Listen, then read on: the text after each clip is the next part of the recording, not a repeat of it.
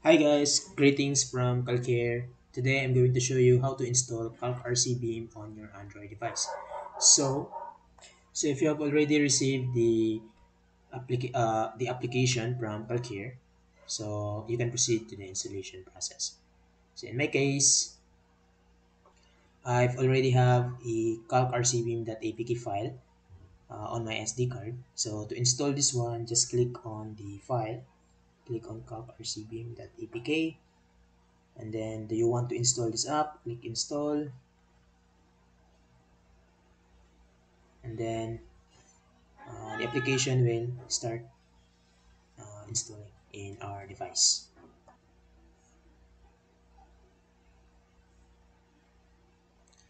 Now Calc RCBeam was installed. You can click open to open the application or you can or you just find it in your Android device. So in this case say go to home and go to where you're all all up here. And you can see we have the calc rc beam icon. Uh, click on this one and you'll be prompted with login uh, form. Since uh, you're not already re registered on the calc rc beam so if you click on login without activation key uh, the application will automatically shut down no? so for instance let's click login so you'll see that you are not authorized to use the application. So you'll need an activation key in order for you to access the Calc RC Beam. Okay, so click open again the Calc RC Beam and this time is we're going to register. So to register, so not registered yet, click sign up. So click on sign up. So here in sign up, we have this application user ID and email address. So that's the only thing that we're going uh, that we are needed. So we have C A. Uh, you just need to input your email address. In my case, I'm going to input my email address. So, dapat yung email mo yan, ha? Hindi email ko. Yung email mo talaga. Okay, so, instance, nailagay ko na yan. So, yan na, no? So, before clicking the register button, make sure you have an internet connection. Uh, kasi yung mangyayari dito is, isa-send mo kang Calcare, yung application user ID mo, tsaka yung email address na gusto mong i-register dito sa application. Okay? So, uh, I'll turn off, turn on first the Wi-Fi, or you can use your mobile data. No? Since, since I don't have a mobile data, I only have a Wi-Fi, so I'll be using my Wi-Fi. Okay, so so here I've already turned on the Wi-Fi, but you can use the mobile data. So if if na-turn on na siya, may internet connection ka na, so I think you're good to go. So let's go back to Calc RCP. Now, you, you might asking uh, kung online ba yung application. Actually, yung application is offline. Calc RC Beam is an offline uh, Android application. So, we only need an internet connection during the installation no? para uh, para maka-generate tayo ng activation key for your user ID and no? for your user ID and you the user. So, anyway, during installation lang yung internet connections. If okay ka na, meron ka ng activation key, so, pwede mo na magamit yung application offline. Okay? Offline. Okay, so, since okay na tayo, just click on register and then you will be prompted with application license agreement. So, please make sure that you have read carefully the application license agreement. This is just a license agreement between you, the user, and the, the developer, the licensor. So, ayan, no? So, if you disagree, so meaning you don't want my application to be installed in your system, so just click disagree and the application will automatically shut down, no? And if you agree, then you can proceed to the installation process. So, to proceed, click agree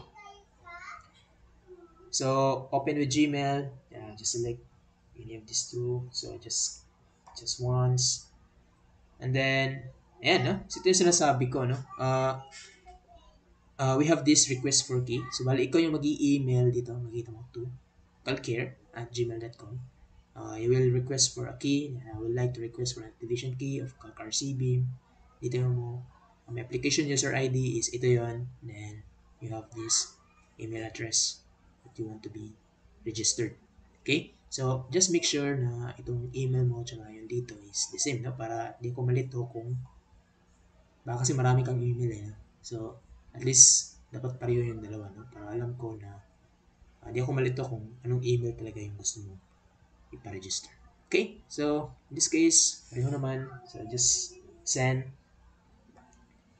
So, once masend na yan, uh, you'll wait for the activation key from Calcare. No? So, so you can uh, close the application at this time since uh, naghihintay ka pa kasi ng activation key, no? So, you can close the application, no? Baka kasi may gagawin ka pa sa phone mo, no? So, for instance, let's close this application. So, okay na ako, no? Na-register na yun. So, wala tayong problema. So, i-close ko muna yung application kasi naghihintay pa tayo ng activation key. Okay, so So provided nag-email na sa'yo si Calcare, no? And may activation key ka na. So pupuntahan mo na yung email email mo and then doon yung activation key, no? Ayan, so provided na nag-email na sa'yo si uh, Calcare, ayan, uh, makikita mo dito. Ito yung sinend mo kanina, request for key. And then, magre-reply si Calcare and this dear customer, thank you for purchasing the Calc RC Beam. Please preserve this information carefully. You have this product name and application user ID. That that ID is unique for your Android device. So, uh, for other device, may iba rin silang application user ID. Okay, so, ngayon ito yung importante yung, yung activation key. No? So, parang susi yan yung application. Gagawin mo lang dito is copy, paste mo lang to dun sa Calcare. So let's say, I'll copy this one. Okay, highlight lang mo lang. Highlight mo lang yan, and then click copy. Okay? Yun. So, na-copy na yun. Babalik ka doon sa Calc RC Beam.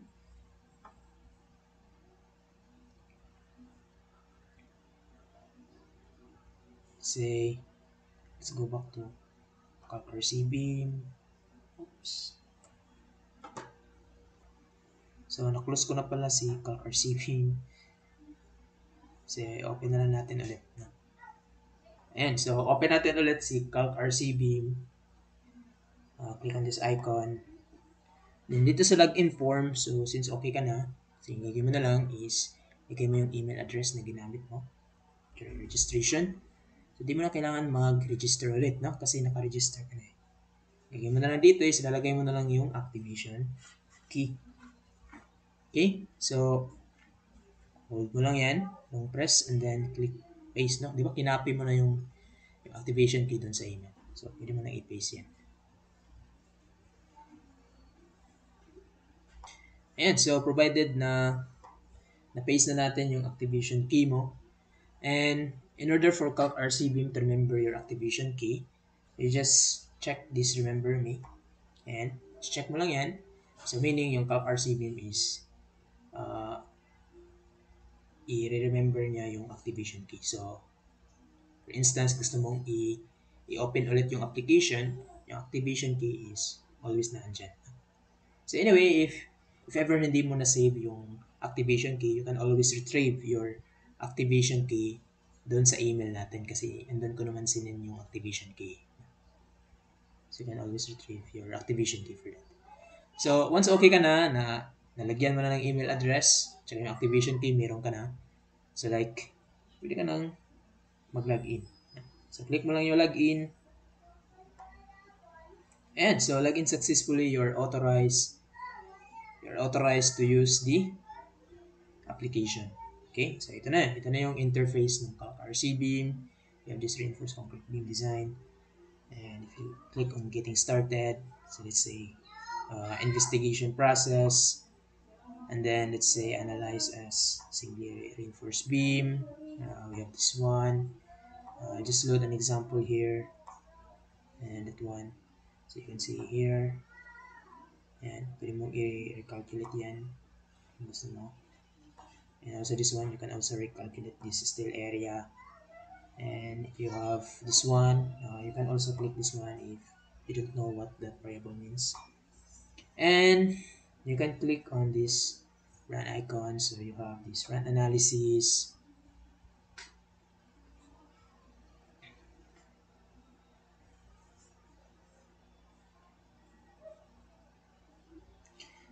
And so you have now the step-by-step calculation. And ito naman yan. So, naka-base to sa 2015 NSAP code. And, so, makikita natin dito yung uh, capacity demand ratio. So, nakikita natin that is greater than 1. So, which means that capacity is greater than demand. So, this is safe. Okay, so so let's try to close the application and reopen it again.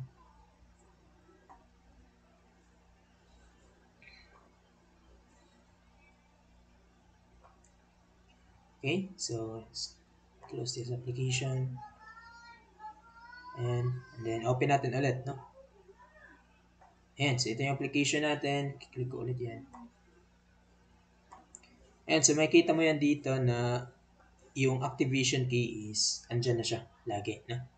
Kasi, di ba, kanina nag-remember me ka. So, meaning activation key is i-access na yan, no? Automatic, naka-stored na yan sa CarCB. Ang gagawin mo na lang is ligay mo yung email mo. And kasi may activation key ka na eh, naka-register na yan.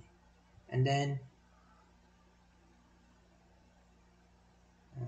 check mo pa rin to to make sure ha? baka mawala no? check mo yan and then login no?